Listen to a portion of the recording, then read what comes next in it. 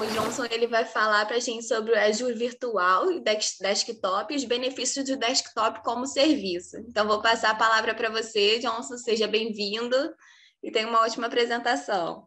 Obrigado, Simone. Olá, turma, tudo bem? Boa tarde a todos os participantes. Obrigado aí pela presença, obrigado por terem é, acompanhado aí as palestras anteriores e por estarem aqui para a minha apresentação também. Vamos lá, porque o bate-papo hoje é um pouquinho longo, mas eu já estava me preparando aqui para encaixar no tempo que a gente tem. Até coloquei um plano de fundo personalizado aqui do Wesley. Quando me encaixo aqui no meio da câmera, eu fico parecendo até um ETzinho com as antenas. mas vamos que vamos. Bom, acho que minha tela já está aparecendo aí para vocês. Bom, o meu tema hoje é sobre desktops virtuais na nuvem. Então, é, sabemos aí que a Microsoft tem mais que uma oferta desse tipo de serviço, né? Existe o Azure Virtual Desktop e existe também o Windows 365, que é um outro tipo de desktop virtual como serviço. Mas hoje eu vou focar aqui no Azure Virtual Desktop, que se enquadra mais no, no formato de infraestrutura como serviço, bem parecido com o conceito lá de, de VDI, né? Então, para quem já estava acostumado com infraestrutura de desktop virtuais em ambiente on-premises, em ambientes locais, essa solução ela é muito boa para uma eventual migração e modernização do seu parque nesse sentido, ok? Bom, é, para quem não me conhece, eu sou o Johnson, eu atuo aí na comunidade Microsoft já há um certo tempo. É, trabalho hoje em dia no Burger King, Fico até brincando com alguns colegas que perguntam, é, o que, que você foi fazer lá? Eu digo que eu fui conectar a chapa na internet IPv6. Mas, é, brincadeiras à parte, eu trabalho com infraestrutura de TI, arquitetura de nuvem, com foco aí em soluções da Microsoft, seja o Azure ou Microsoft 365. E a ideia do nosso bate-papo aqui hoje é passar um overview geral sobre a ferramenta do Azure Virtual Desktop, Vamos falar sobre as vantagens que essa solução tem, como que funciona a arquitetura, o que, que o cliente deve pensar e se preocupar em relação a é, possíveis licenciamentos da Microsoft, como funciona aí um processo de transição para o uso dessa ferramenta, além de recursos de negócios e também recursos técnicos que vão ajudar vocês na capacitação em relação à implementação desse tipo de serviço, ok? E aí, o Azure Virtual Desktop, quando ele foi lançado, ele tinha um outro nome. Ele era conhecido como Windows Virtual Desktop. E aí a Microsoft pegou e repensou a, a solução, implementou algumas melhorias nela entre 2020 e 2021, mas é, na prática ela não deixou de entregar algo diferente do que já era proposto no início, né? Então a ideia é que você disponibilize aos seus colaboradores aí da sua organização é, desktops na nuvem com Windows 10 ou com Windows 11 e logo mais a gente vai falar aí das versões que também podem incluir aí o Windows Server dependendo do teu cenário.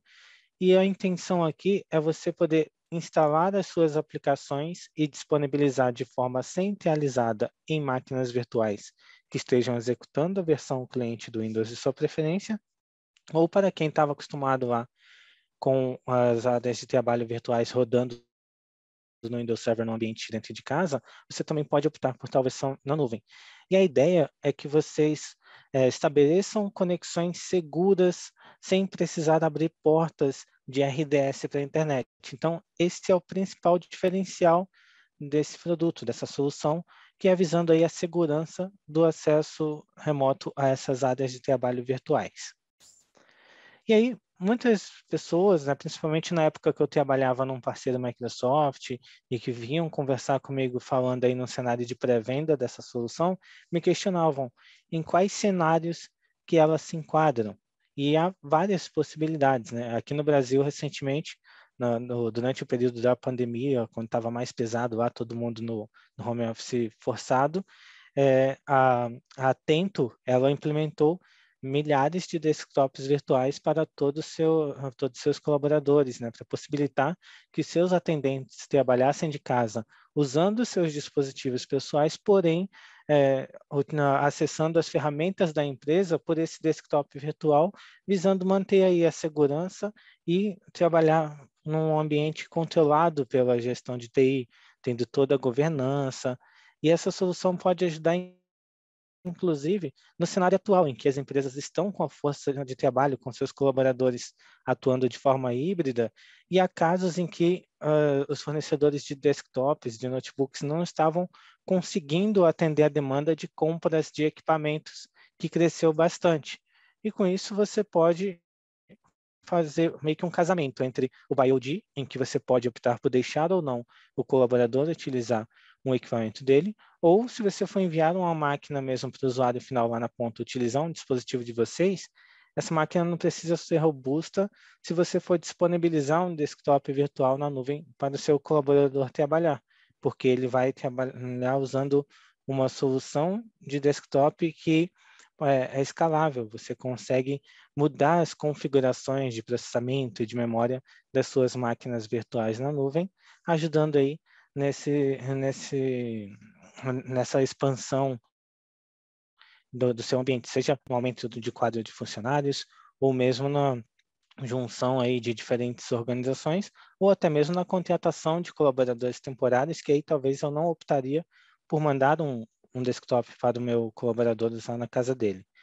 É, fora isso, essa solução também atende muito bem a ambientes de desenvolvimento e teste, atende também a cenários em que os colaboradores estão em campo, talvez utilizando um tablet, e aí eu e aquele meu tablet está de repente com Android e não atende as minhas necessidades dos aplicativos que eu uso, sem problemas, eu poderia por meio desse tablet usar o cliente da área de trabalho virtual para acessar esse, essa minha máquina virtual com Windows e utilizar todas as aplicações dentro do ambiente Microsoft, mesmo estando no meu tablet. E aí eu estaria tirando proveito do, do trabalho em trânsito, né? porém sem ficar preso a um, um dispositivo comum com Windows instalado nele. Então, possibilidades existem várias, né? E a gente vai entender como funciona a arquitetura dessa solução aqui.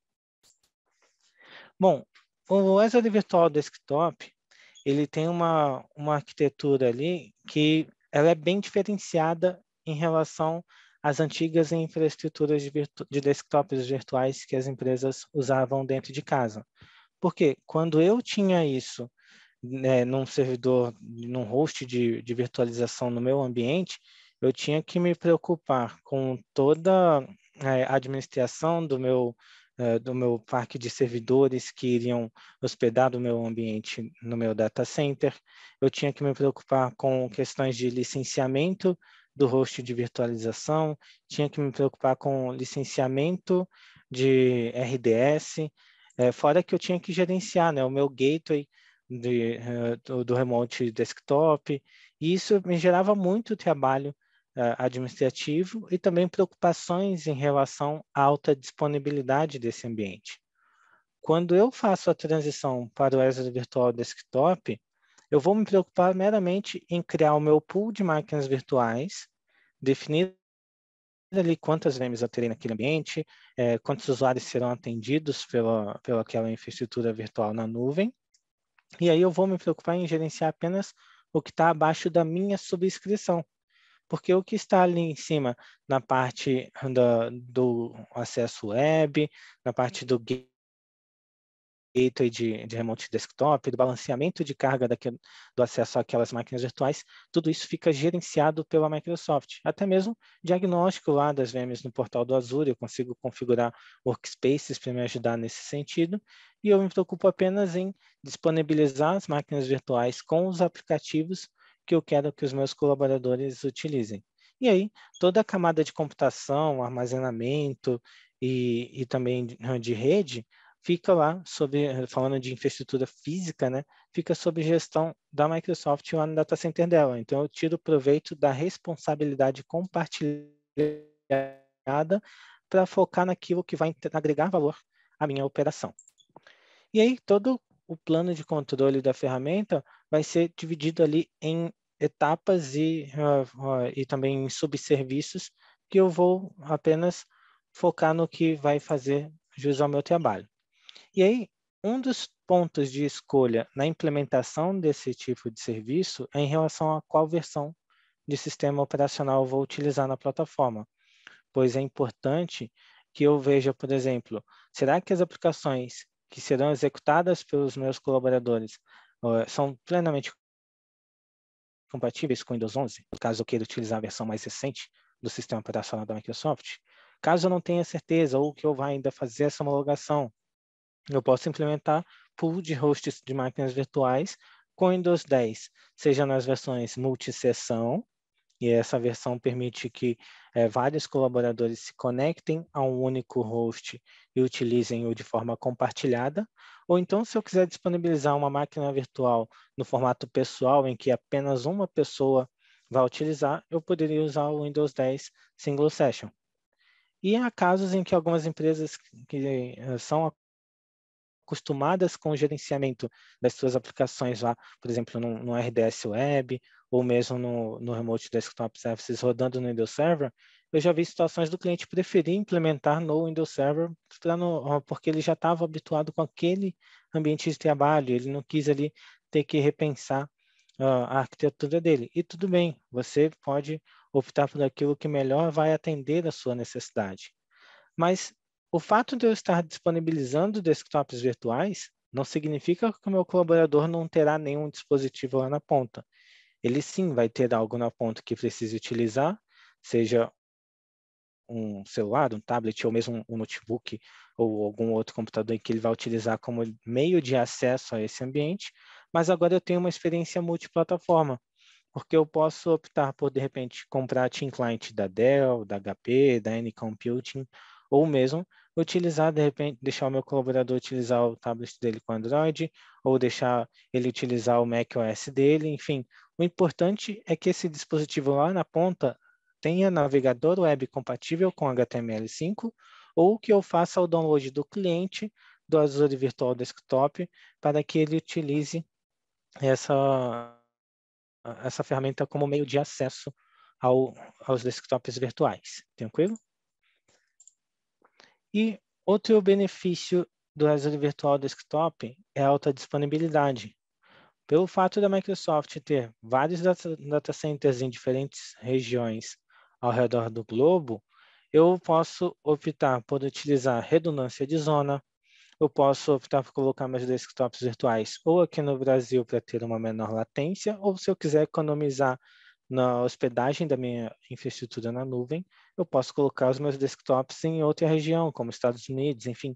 É, você também tem um leque aí de várias opções sobre sua escolha. E essas opções, em cada uma dessas regiões, a Microsoft tem os gateways do uh, Virtual Desktop é, já implementados e operacionais, e há também regiões que estão com roadmap para futura disponibilização, mas a maioria dos data centers da Microsoft ao redor do globo já tem o serviço à disposição já há um bom tempo, né? E hoje em dia, eu costumo dizer que o serviço está muito mais maduro para uso.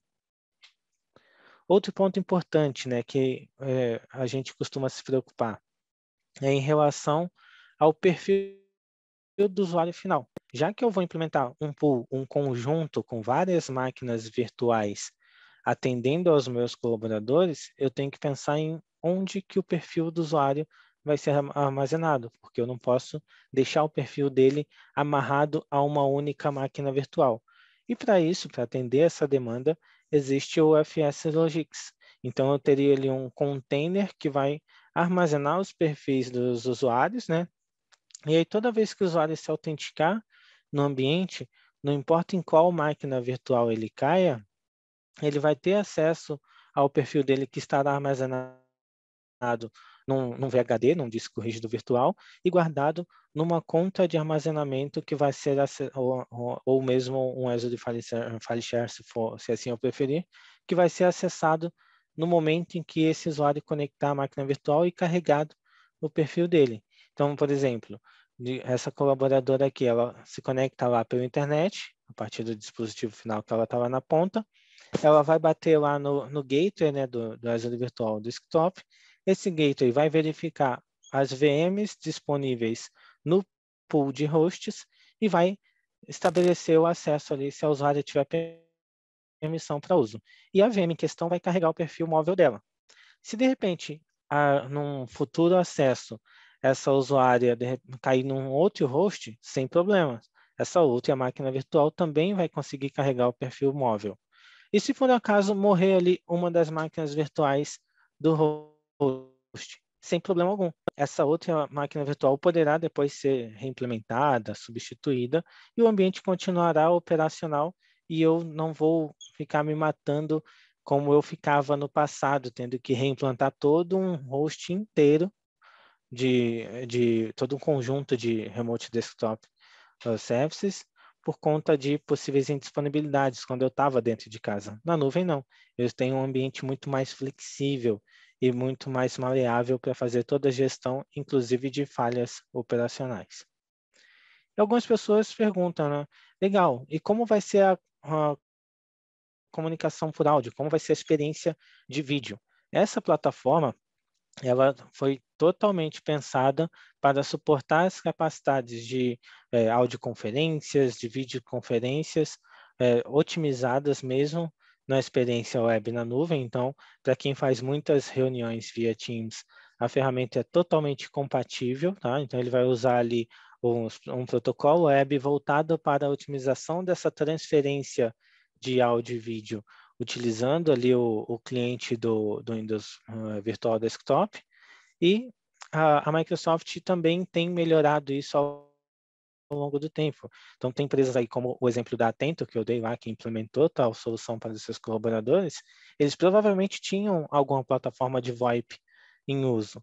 E essa plataforma também foi homologada para o uso no Microsoft Teams. Então, se sua empresa usa, além do, do Teams, ou, ou a telefonia integrada ao Teams, ou mesmo alguma aplicação de VoIP terceira, sem problemas. Você consegue fazer a transferência do áudio do, do teu dispositivo local para a ferramenta de nuvem e ele vai reconhecer teus dispositivos aqui, como o teu fone, microfone, webcam, tudo isso é configurável nas conexões, lá nas propriedades da conexão RDP. E aí, eu também posso usar aí é, infraestrutura com é, solução de aceleração de hardware, onde eu posso ter, inclusive, minhas VMs, alguns tipos e tamanhos de VMs suportam a, a aceleração de rede, e tudo isso vai me ajudar também no redirecionamento de áudio e vídeo durante essas, durante essas chamadas web. É, fora isso, o Azure Virtual Desktop ele também visa atender aí clientes de outras soluções de virtualização. Então, nós temos casos de clientes que usavam Citrix como solução de virtualização e, e talvez já tenham ou não migrado para o Citrix on Azure, ou que estejam acostumados a usar o, o VMware Horizon Cloud lá no Azure. Esses clientes eles também podem opcionalmente migrar para o, Azure Virtual Desktop. E eu já vi casos de clientes que tinham uma arquitetura em uma dessas duas outras soluções e foram aos poucos implementando o Azure Virtual Desktop, homologando e depois fazendo a transição dos usuários para a sua solução. Então, é, falando de soluções de virtualização na plataforma de nuvem da Microsoft, você tem é, opções ali à vontade para você implementar aquilo que melhor atenda sua necessidade. Mas numa eventual implementação ou migração para o Azure Virtual Desktop, a gente também tem que pensar no quesito licenciamento do direito de acesso a essa solução. Por quê? A infraestrutura de máquinas virtuais, ela vai ter ali o consumo conforme horas de execução das minhas VMs, tamanhos das minhas VMs, versões de sistema operacional sendo utilizadas, posso optar por contratar ou não é, instâncias reservadas para as minhas máquinas virtuais. E eu também é, tenho, além do consumo do Azure, eu tenho que me preocupar em relação ao direito de acesso. Então, para isso, o meu usuário final, ele precisa, para ser elegível a acessar o Windows ali multisessão na nuvem, ele precisa ter ou um, o licenciamento do Windows VDI, por usuário, ou então qualquer um desses planos do Microsoft 365 que vocês estão vendo na tela. Então, por exemplo, clientes que de repente vão disponibilizar ali usuários que vão apenas se conectar ao, ao Windows 10 e não vão usar o Office 365, vão acessar só o Windows e as aplicações que foram instaladas lá, sem problemas, eu posso colocar Windows uh, VDI né, o usuário. Ou eu posso colocar o Windows Enterprise E3 ou E5. Mas se eu for um colaborador, como é o meu caso, que utiliza o Microsoft 365, pequenas e médias empresas geralmente costumam utilizar, fazer o upgrade para o Microsoft 365 Business Premium, para ter o direito de acesso à área trabalho virtual, mas eu ainda tenho o custo lá do, do armazenamento da minha infraestrutura em nuvem, ok? E, o, e clientes enterprise, eles costumam ter ou o Microsoft 365 E3, ou E5, ou o plano F3 para os colaboradores de linhas de frente. E clientes educacionais, como Centro Paula Souza é, e outras instituições de ensino, talvez tenham aí os planos A3 ou A5 do Microsoft 365, que são os planos voltados para clientes educacionais.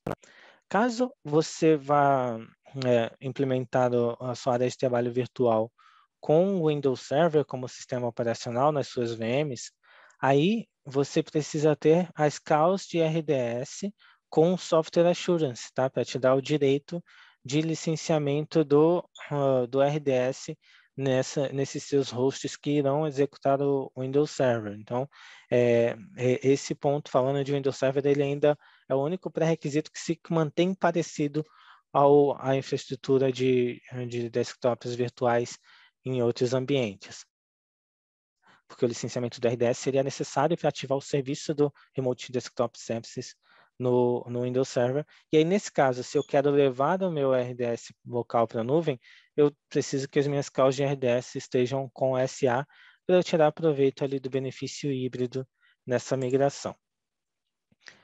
Obrigado, Thaís. Tô, agora que eu vi essa mensagem aqui no chat. Bom, quem tiver dúvida em relação ao que eu estou comentando, só jogar aí no chat, que já já eu dou uma olhadinha de novo no chat aqui para respondê-los, ok? Bom, para quem nunca ouviu falar no Windows 10 é, é, aqui eu vou dar alguns exemplos que vão ajudar ali numa comparação de custos, mesmo que seja superficial, mas só para dar um exemplo prático, tá? Por exemplo, quando eu estou no, no cenário de, de um cliente que, de repente, deseja ali utilizar máquinas dedicadas para cada usuário, ele geralmente coloca um usuário para cada máquina virtual de um tamanho pequeno ou médio ali que atenda às necessidades daquela pessoa. Só que eu posso talvez ter um custo elevado ao ficar dedicando máquinas virtuais no formato pessoal para cada colaborador. Isso no ambiente on-premises, por exemplo, quando você tem colaboradores que usam ali o Windows 10 de sessão única, né, em que só ele está conectado numa máquina trabalhando, eu não percebo, mas eu tenho vários custos envolvidos aí, do licenciamento do Windows naquele desktop, do licenciamento ah, do, do, do Office que o usuário usa, enfim, eu tenho a preocupação com aquele equipamento físico que vai, se ah, vai sofrer uma depreciação ao longo do tempo, quando eu saio do ambiente on-premise, em que cada um está com o seu equipamento conectando a, a, sua máquina virtual lá no seu data center local, eu tenho que preferir ir para o Windows 10 multisessão no Azure Virtual Desktop. Por quê? Eu vou pegar uma VM maior, que atenda às necessidades operacionais daqueles colaboradores e vou colocar vários usuários num único host de sessão, numa única VM dentro dessa minha infraestrutura de desktops virtuais, porque aí eu vou ter uma redução de custos operacionais. Primeiro que, ao sair do ambiente on-premise, eu vou poder abrir mão daquele meu data center que mantinha aquele ambiente de VDI.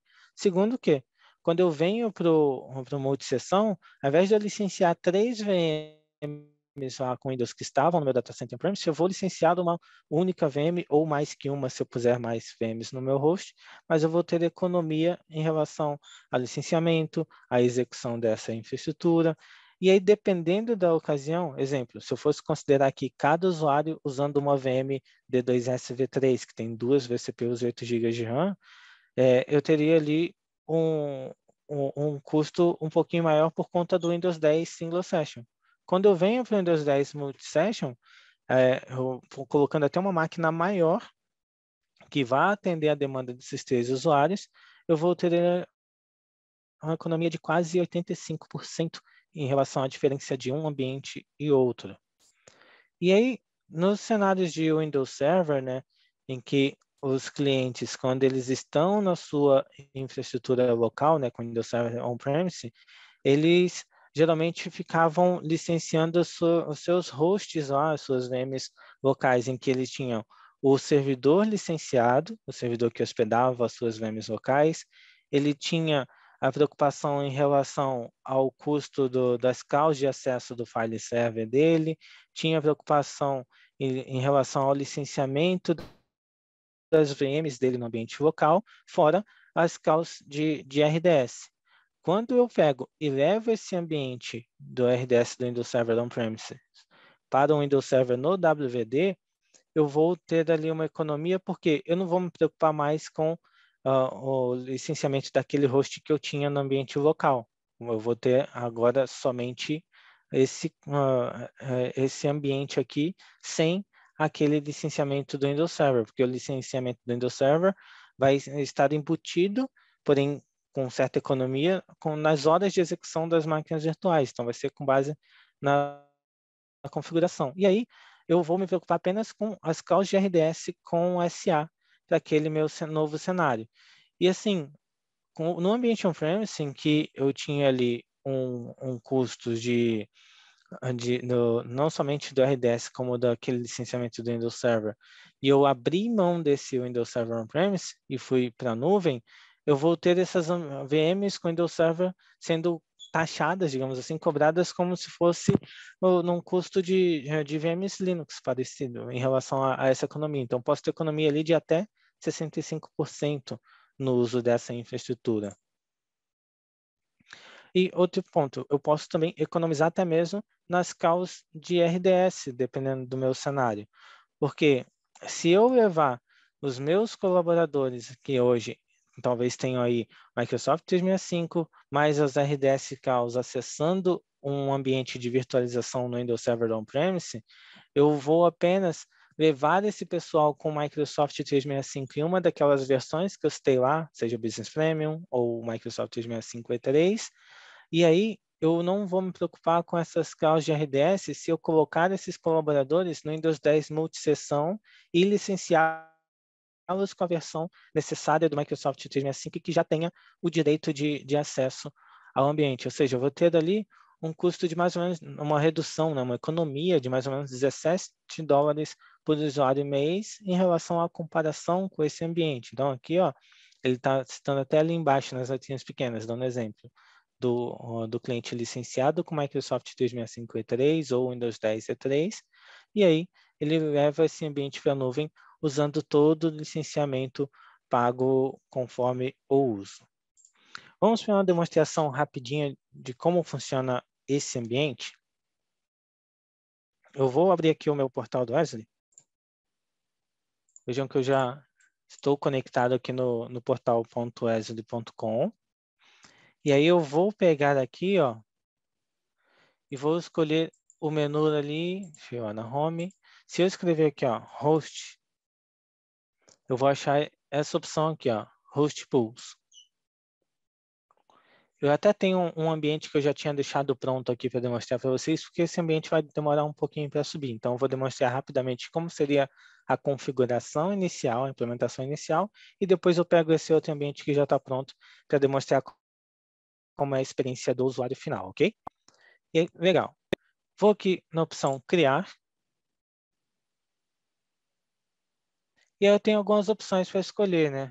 Vou escolher aqui a minha assinatura de parceiro Microsoft, mas é, a maioria dos clientes geralmente acabam usando ou uma assinatura paga pelo uso, ou alguma assinatura CSP do Azure que contrataram com o parceiro Microsoft que, o, que os atendem. No meu caso, eu vou usar essa aqui que eu já tenho os créditos. Talvez ela mostre um erro ali na frente para vocês, mas não tem problema. Eu vou seguir pelo menos até a validação final aqui. Tem que ver até se eu tenho crédito suficiente, mas deve dar sim. E aí eu tenho que escolher o grupo de recursos, onde eu vou alocar esse, esse meu ambiente. Vou pegar aqui, vou escolher o grupo de recursos que eu já tinha até criado um pouco antes do início da live, e eu tenho que nomear esse meu host pool. Vou colocar aqui um nome como AVD FTM, de Festival de Tecnologia Microsoft. Quero hospedar minhas VMs lá nos Estados Unidos, e vou escolher o tipo de pool. Ou seja, se eu deixasse no modo pessoal, eu dedicaria cada máquina virtual a um único colaborador. No meu caso, eu quero deixar ele em pooled, ou seja, eu quero disponibilizar as minhas VMs desse host para uso compartilhado por mais que uma pessoa.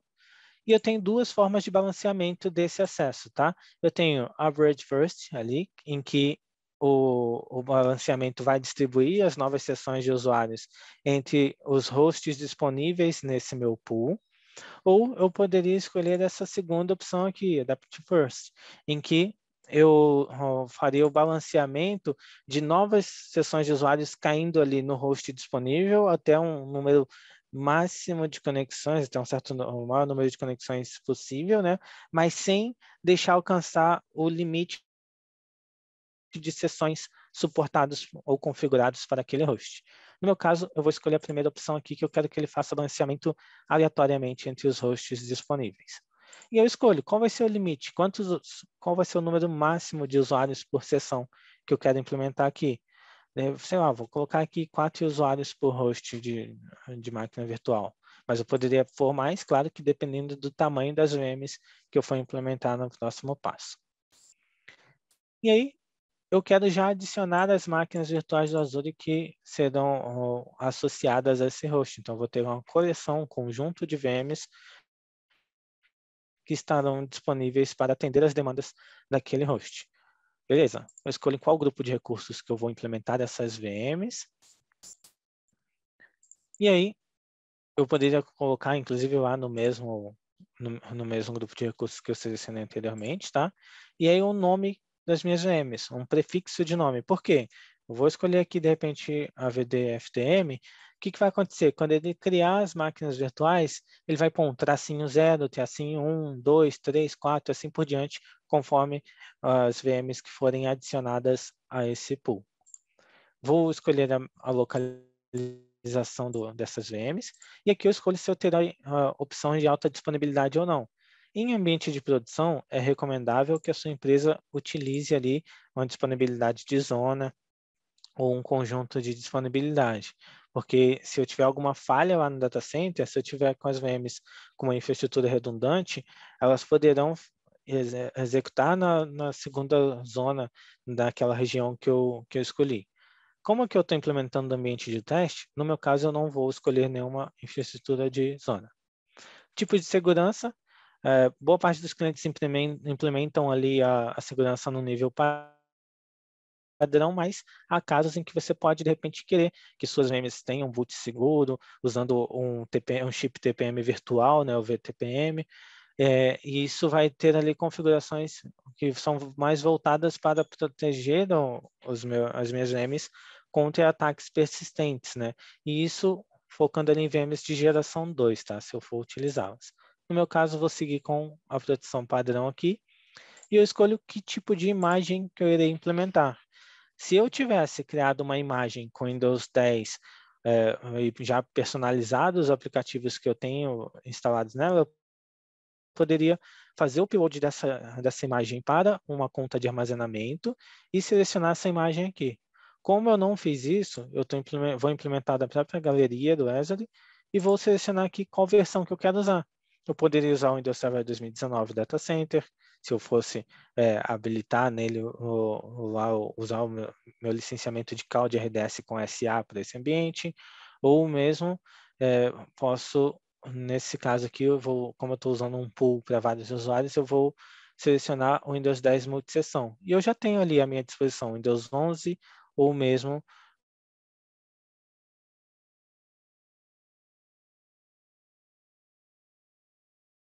proteção na versão 21H2, né, que foi a última build, e uh, já com o Microsoft 365 pré-instalado, porque eu, como eu tenho o licenciamento do Microsoft 365 Business Premium, eu quero aproveitar já, o Office para facilitar minha vida, só logar lá no Office ativar com a minha conta aqui.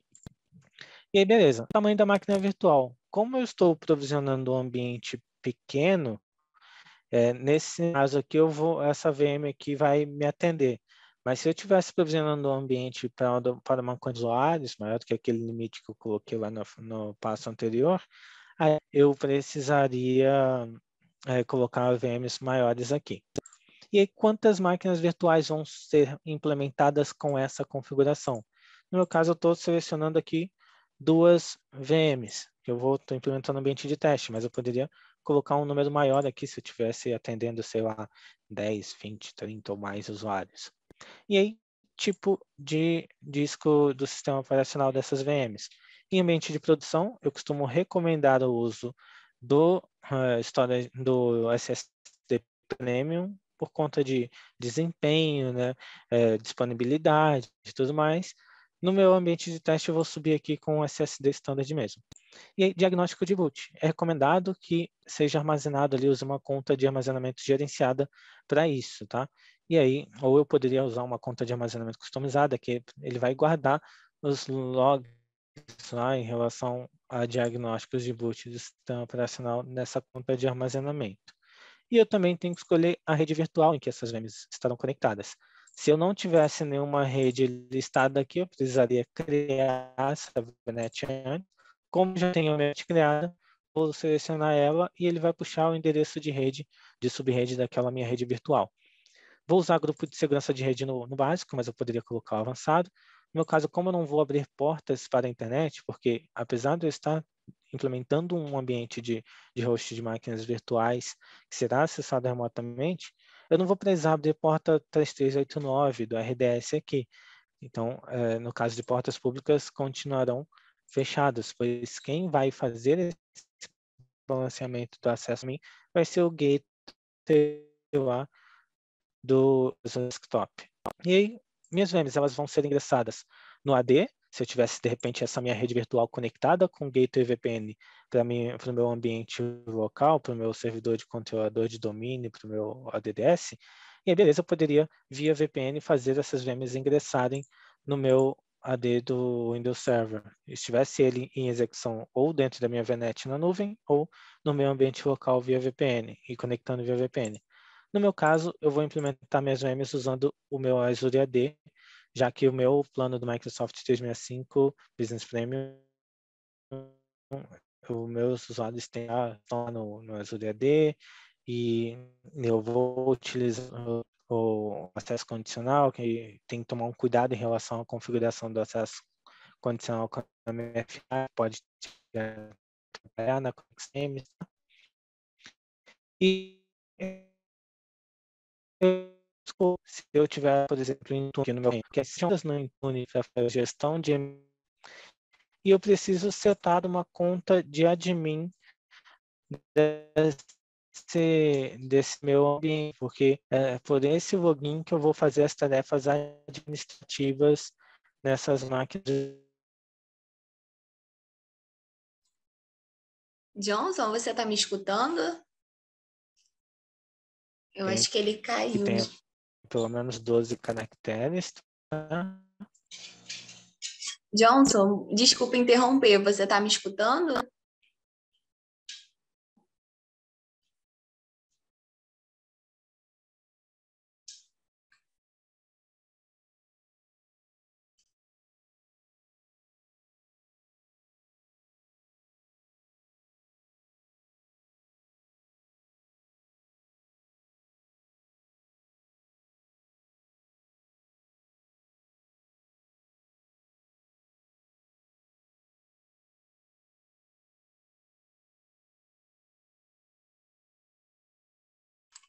Johnson, tá me ouvindo? E, pessoal, voltei. Deu um probleminha aqui Opa. na minha conexão. Opa, agora sim. Agora foi. Simone, perdão, oscilou minha conexão aqui com a internet. Nada, voltei. acontece nessa loucura que a gente está vivendo, nesse mundo virtual, pandemia, tudo online, é normal acontecer. Até desliguei minha câmera aqui. Sim, verdade. O, o, Rafael até deu esse exemplo né, na palestra dele. Sim, exatamente. Imprevistos aí? podem tá acontecer. Está instável ainda.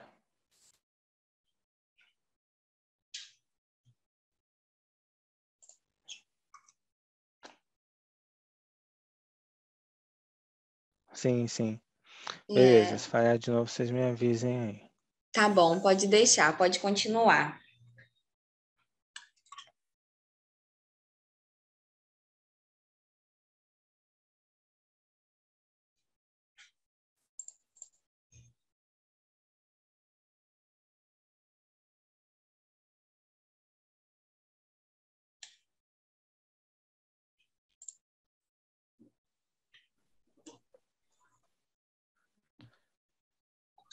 Vocês estão conseguindo me ver? Sim, estou te ouvindo.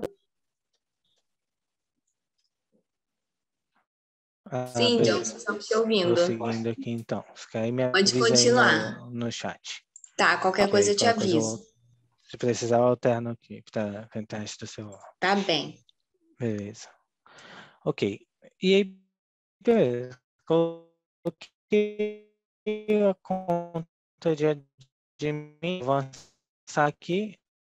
Não tá dando um erro ali, mas eu vou ignorar. Eu vou registrar aqui esses desktops virtuais num, num workspace, tá? Para quê? Para que eles são eu vou, eu vou registrar esses meus desktops num, num workspace, porque é nele que eu vou configurar o acesso.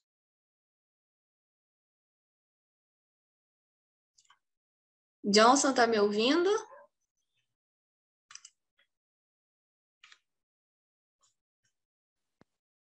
É, galera, acho que a internet do Johnson hoje está um pouquinho instável.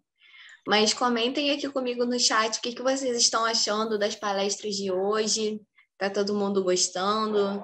Alguma dúvida?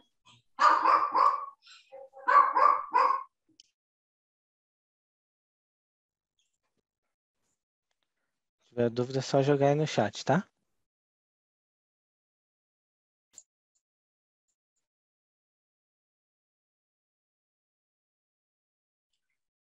Tá conseguindo me ouvir, Johnson? Tá falhando ainda, né? Oscilou Agora um sim. pouquinho de novo. Agora eu tô te ouvindo. Ah, beleza. Se precisar, eu alterno aqui para a internet do celular. Vamos deixar o pessoal com esse gostinho, né, sem ver isso funcionando, não. Tá, é, tá cortando um pouco o seu áudio. Uhum. Vou ativar aqui a internet do celular.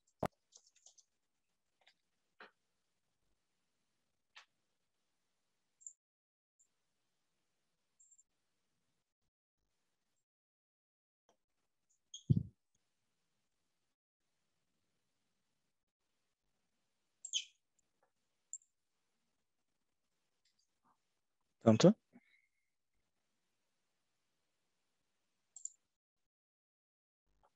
Foi aí? Oi, tô te ouvindo. Ah, beleza. Pa- Mudei para a Ah. conexão do celular aqui, ok? Ok, tá bem melhor, tá dando para te ouvir claro. Pode É, dar show. seguimento. Desculpa qualquer coisa. Não, eu que peço perdão pelo imprevisto, pessoal. Vou até que ter que atualizar a tela aqui, viu? Deixa eu recomeçar ali. Que ele vai. Senão ele vai dar erro na implementação. Tá bem, fica tranquilo que esses imprevistos acontecem. Já aconteceu muito comigo no meio de apresentação de trabalho. Então é. Minha tela tá aparecendo para vocês?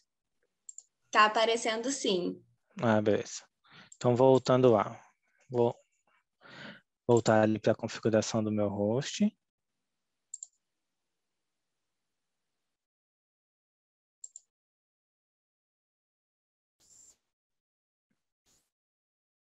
Vou passar rapidinho pelos tópicos que eu já tinha explicado aqui.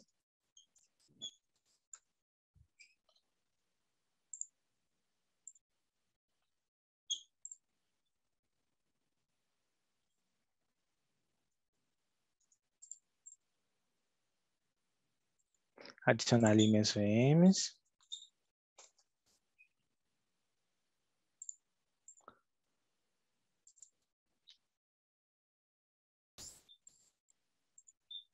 Vou implementar aqui duas VMs somente, tá, pessoal?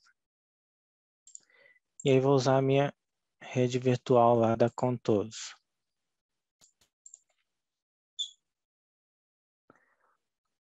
Quero conectar as minhas VMs no, no Virtual Desktop, ou no Azure, quer dizer.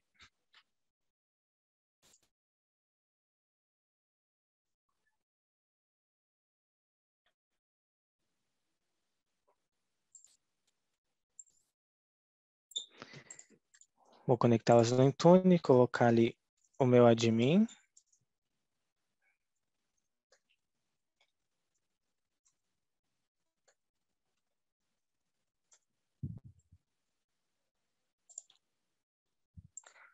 Bom, onde eu estava aqui? Eu tenho que registrar essas VMs nesse, num workspace do AVD, tá? Porque é nele que vou definir os usuários que terão permissão de acesso ao serviço.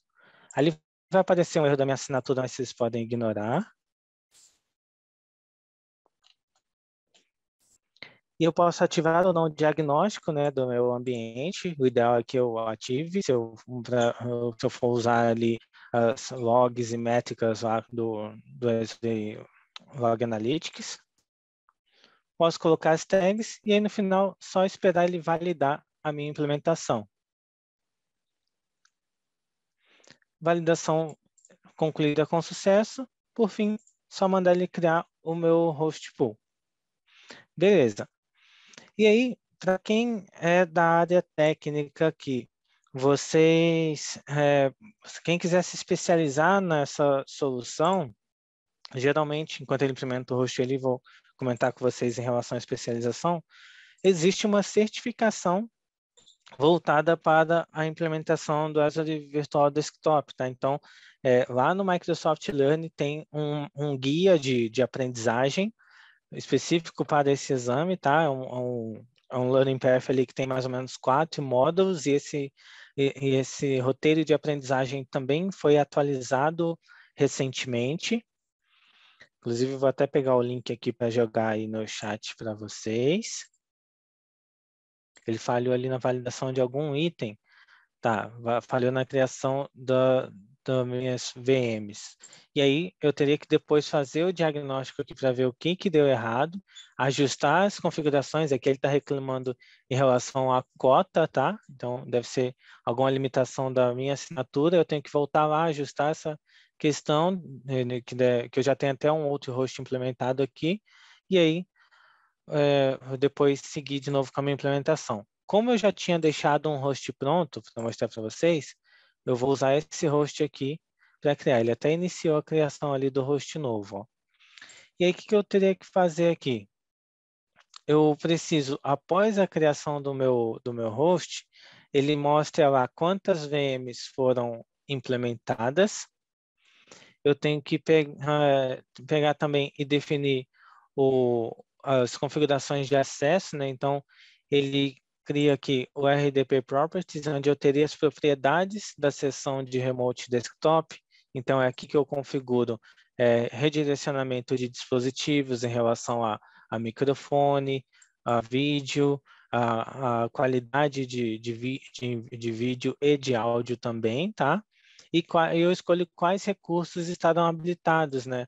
Redirecionamento de câmera, se eu vou redirecionar automaticamente ou se eu não vou permitir o redirecionamento de câmeras. Se eu deixar não configurado, isso vai ficar é, como uma opção para o usuário escolher no momento da, da conexão, tá? Eu posso escolher também configurações de display, habilitar ali é, funcionalidades para uso de múltiplos display. Então, se o meu usuário está acessando com o, se ele está acessando num dispositivo que ele tenha dois monitores, como é o meu caso aqui, e eu usar o cliente de conexão da área de trabalho virtual, ele vai detectar esses dois monitores. Para mim também consigo escolher até configurações de resolução dinâmica, modo de tela, enfim, tem várias opções aqui que são configuráveis.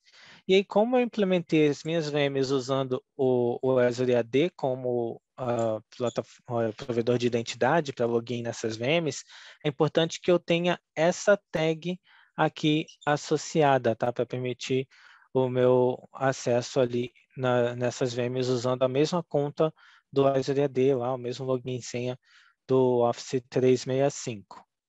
E aí, beleza. É, voltando ali no, no, no assunto certificação, eu comentei que existe a certificação AZ140, que é voltada para a configuração, e quem quiser estudar para esse exame, existe aqui o roteiro de aprendizagem com oito módulos. No começo ele tinha quatro módulos, a Microsoft atualizou colocando outros módulos, tá? Inclusive o módulo de configuração de perfil móvel, etc. Tem tudo aqui para você se preparar gratuitamente para essa prova de certificação, pois é ela que vai validar o seu conhecimento de implantações de desktops virtuais. Então, vou colar aí no chat tanto o link do exame de certificação, quanto o link do módulo de aprendizagem que vocês vão usar para estudar para esse exame. É um módulo ali que tem uma duração de 5 horas e meia, mais ou menos. Beleza. Depois que eu configurei as minhas conexões de RDP, eu também preciso garantir que estejam configurados ali uh, os grupos de aplicação. Sabe aquele workspace que eu uh, selecionei lá durante a criação? Ele aparece aqui como o nome escolhido e tem assim o DAG, porque nele eu preciso definir as atribuições de usuários ou grupos para os colaboradores que terão permissão de acesso nessas máquinas virtuais. Eu vou até pegar aqui o login que eu vou usar de exemplo para conectar nesse serviço para vocês verem funcionando. Fora isso, é, lá nas, pode ser necessário lá nas máquinas virtuais dar permissão de atribuição de, de logon do usuário na, nos hosts das minhas VMs, tá? Então existe uma função aqui chamada Desktop Virtualization User, lá no, lá no RBAC, lá no controle de acesso baseado em função do Azure. Então, os colaboradores que forem utilizar esse serviço também tem que ter associado a eles essa permissão no controle de acesso dos recursos dos meus hosts de virtual desktop, beleza? E aí, como vai ser a experiência do usuário final? Experiência de acesso do, do usuário final vai ser parecida com essa daqui, ó. Eu estou com o meu usuário conectado lá no portal do Office, um daqueles meus usuários que eu dei permissão de acesso ali, tá? E aí eu fiz login lá no portal.office.com com essa conta. Vou até copiar ela aqui, que eu vou precisar pra, na hora de autenticar. E aí eu tenho que acessar o cliente do Windows Virtual Desktop. Existe aqui o Windows Virtual Desktop Client, só que esse que eu tenho associado aqui é a versão anterior, né, lá da primeira versão do WVD. Atualmente a gente usa esse login aqui, ó, cliente web da área remota, que está no link rdweb.wvd.microsoft.com/arm/webclient. E aí, depois de eu autenticar com a minha conta do Office 365 e do Azure AD, mesmo que eu dei permissão lá no host pool, esse meu usuário tem que acessar esse portal web. Está meio devagar aqui por conta da minha conexão, né? Que deu probleminha há pouco.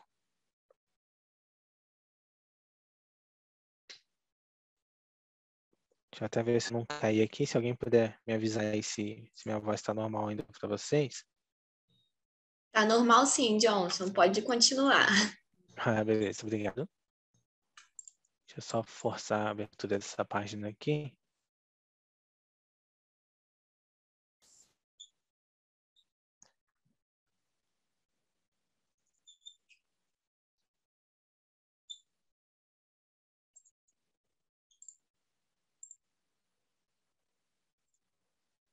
DRD Web www.microsoft.com rm webclient, esse mesmo. Até abrir uma outra janela anônima aqui para tentar autenticar por ela. Johnson, tem uma pergunta para você. O ah, Gustavo Nascimento quer saber quais as permissões de RBAC no pool e se os usuários precisam ter mesmo. Ah, sim, vou pegar aqui.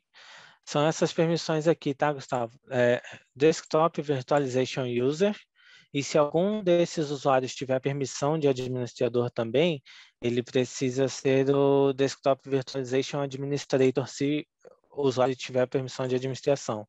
Lá nas VMs, você consegue associar isso por lá também, tá? Aqui, ó. Vou pegar uma das VMs aqui só para você ver como ficou.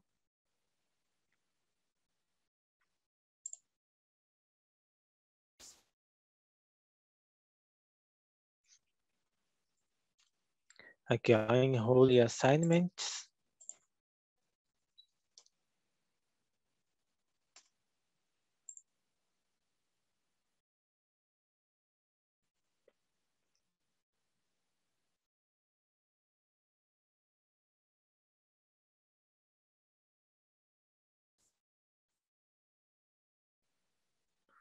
E a nova guia aqui mostrar ali pelo host pool para você.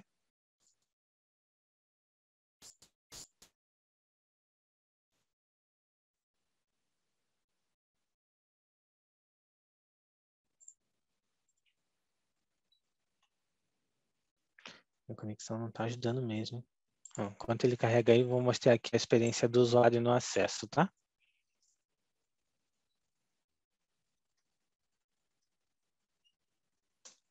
Vou autenticar ali com a minha conta. Vou entrar aqui com a minha senha.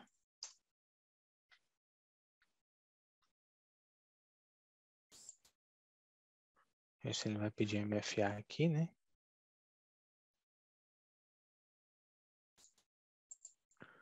Beleza, depois que eu autentiquei com o meu usuário, o Gustavo, quando o usuário tem aquelas funções ali que eu citei, deixa eu ver se agora ele vai mostrar aqui.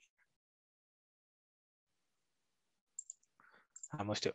Essa função aqui, ó, Gustavo. Cadê? É, virtual Machine User Login. Essa é uma delas, tá? Isso a nível da máquina virtual. Lá no nível do pool, vai estar como Desktop Virtualization User, lá no, no host pool. Aqui nas VMs, eu preciso ter associado ao usuário ou ao grupo ao qual ele faz parte, a função de Virtual Machine User Login. Beleza? Ó, só te mostrar de novo no host pool para você ver a diferença entre um e outro. Um acaba complementando o outro, tá? Primeira vez que eu fui implementar um host pool lá em 2020 e tal, eu lembro que eu tive até que abrir chamado com a Microsoft e eles me ajudaram a entender essa questão. Porque no Application Group, eu tenho uma, uma função específica, que é essa daqui, ó.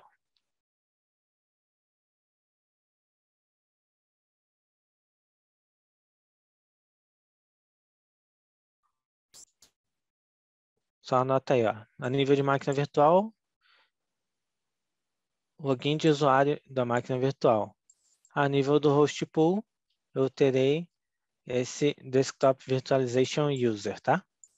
Isso aparece aqui quando eu dou a permissão ali no Assignments, no host pool, e nas VMs eu posso adicionar manualmente essa função aqui, esse RBAC para os usuários que forem autenticar na VM. E esse meu usuário eu coloquei ele como administrador, então por isso que eu estou ali também como administrador de máquina virtual, para login na máquina virtual.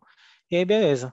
Depois disso, basta eu autenticar com a minha conta aqui, e aí eu vou ver ali o meu host WZD à minha disposição, e aí basta eu escolher ali quais recursos, né? Eu vou usar a área de transferência, impressora, transferência de arquivo, permitir, e aí ele vai abrir a, a sessão para login com o meu usuário. Eu vou só autenticar de novo com a mesma senha que eu usei para acessar o, o portal do, do Office. Eu ver se ele vai conseguir iniciar minha sessão aqui, se minha internet vai ajudar.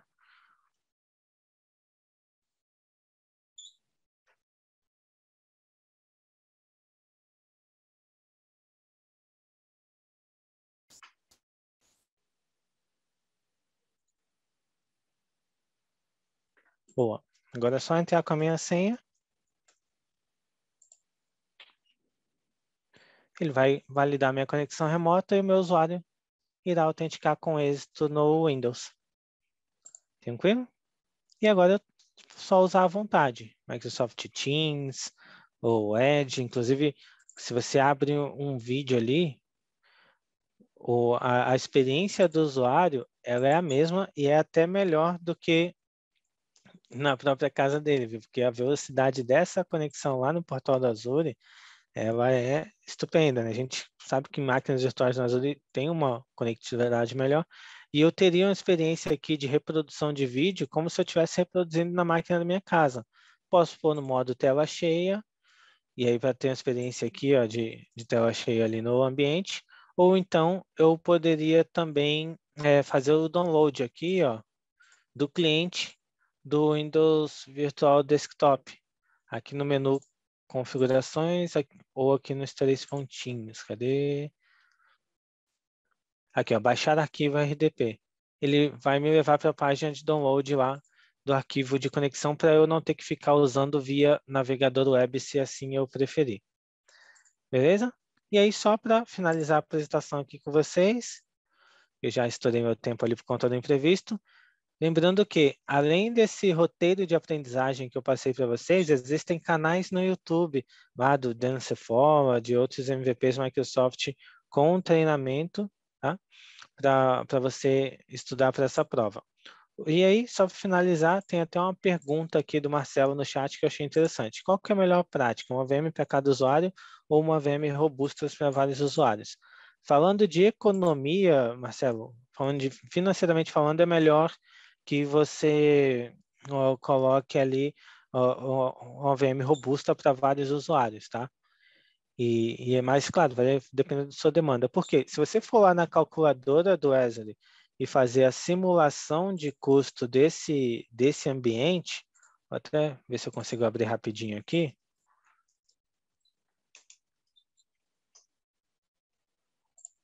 Abrir a calculadora de preços aqui do Wesley.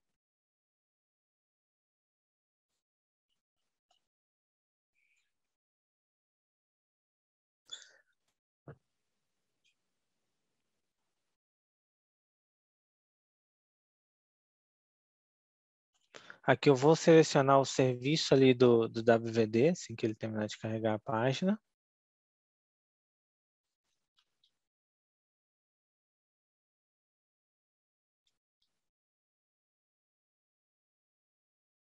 E eu vou pegar aqui, ó, é, virtual, a escolha aqui, área de trabalho virtual do Azure, esse serviço aqui, ó.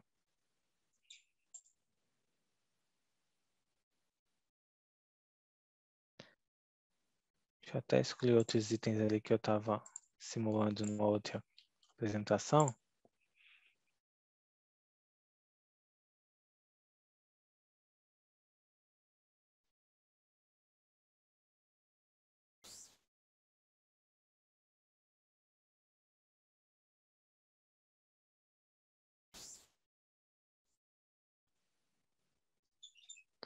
É, minha conexão não vai ajudar mesmo, hein? Pena.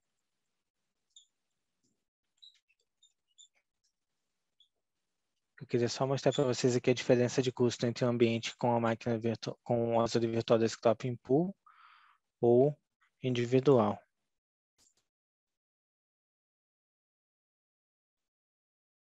Ah, foi. Ó, veja o seguinte. Ó. Vou simular ali o ambiente que eu acabei de implementar. Eu coloquei minha, minha, meu AVD lá no, no, no leste dos Estados Unidos.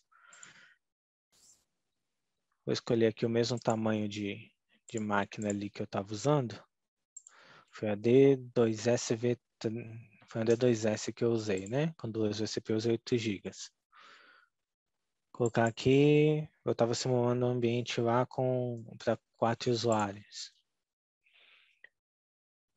Excluir ali o outro que ele acabou adicionando mais que uma vez o serviço. Opa, aí deu.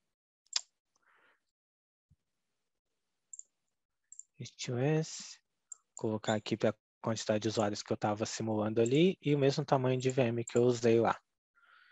Ó, esse ambiente aqui, ele em pool está me custando ali mais ou menos 130 dólares. Claro que aqui considerando só 220 horas de uso, tá? É, se eu fosse usar 24 por 7, aí eu teria aqui 730, tal, ficaria é, um pouquinho maior o valor. Mas vou considerar só as 220 horas de uso aqui mesmo. E aí, é, vou, eu estou usando SSD Premium lá, de 128 GB, que foi implementado junto com as VMs. E o, o, armazenamento aqui, cadê? Pegar ali o armazenamento de dados do, do perfil.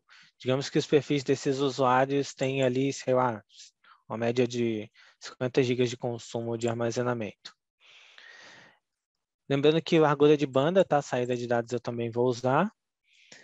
E beleza. Vejam que esse meu ambiente está custando 138 dólares em pool. Se eu colocar, Marcelo, no modo pessoal, ele vai ficar um pouquinho mais caro. Porque eu vou passar a dedicar cada máquina virtual a cada usuário. Ó. Passar, vai ter quatro máquinas virtuais, uma para cada usuário que eu selecionei. Se eu coloco em pool, não. Eu não preciso ter isso tudo. É, às vezes, uma, uma a duas instâncias de VM seria suficiente para atender aquela quantidade de usuários. Então, aí vai muito do, do, do que a empresa quer em relação a custo, tá? Bom, pessoal, finalizei aqui. É, peço desculpas pelos imprevistos aqui com a minha conexão e agradeço aí o apoio da Simone e a participação de, de todos vocês aqui hoje, tá bom?